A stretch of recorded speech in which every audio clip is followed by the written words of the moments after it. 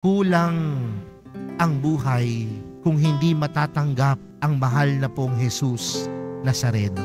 Kaya kapag tayo ay dumadalo ng misa sa pagtanggap natin sa katawan ni Kristo, ito ay pagpapaalala sa atin na sa kabila ng ating hindi karapat dapat, ang Diyos ay mabuti at sa pagiging mabuti ng Diyos, patuloy niyang ipinagkakaloob ang kanyang buong sarili sa pamamagitan ng tinapay. Kaya mga kapatid, sana po sa mga oras na ito, kapag tayo ay dumadalo ng Eukaristiya o ng Misa, wag lang natin isang, wag lang sana natin makita ito na isang pagtitipon. Wag lang sana natin makita ito na isang obligasyon na dapat nating gampanin bilang mga Kristiyano at Katoliko.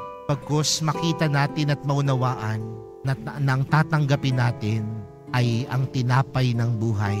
Ang tatanggapin natin si Jesus. Ang tatanggapin natin ay si Kristo. At ang tinatanggap natin nagmumula sa kabutihan ng Diyos. At ang kabutihan ng Diyos ay nagkakaloob sa atin ng kanyang buong sarili. Nawa ang Eukaristiyang ito, ang tinapay ng buhay, si Kristo, ang ating maging lakas sa ating buhay.